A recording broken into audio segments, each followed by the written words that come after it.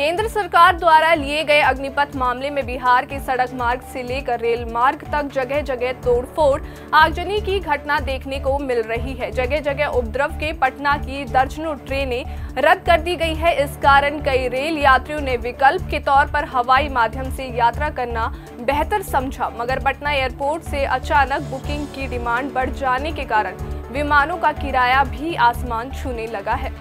Patna airport के यात्रियों ने जब दिल्ली का किराया ऐप्स और दूसरे माध्यमों से पता किया तो शुक्रवार की शाम पटना से दिल्ली की टिकट अधिकतम सत्ताईस हज़ार रुपए में मिल रही थी। मजबूरी में कुछ यात्रियों द्वारा इतना किराया चुका कर भी सफ़र तय किया गया। आपको बता दें कि सामान्य तौर पर इसी तारीख पर दिल्ली जाने के लिए अधिकतम किराया बारह हज़ार तक देना होता है। हवाई जहाज़ के किराए पर नज़र रखने वाले लोगों की माने तो पटना से दिल्ली जाने का ये किराया अब तक का सबसे अधिक किराया है। पटना से दिल्ली जाने के लिए सबसे आखिरी विमान रात साढ़े आठ बजे है।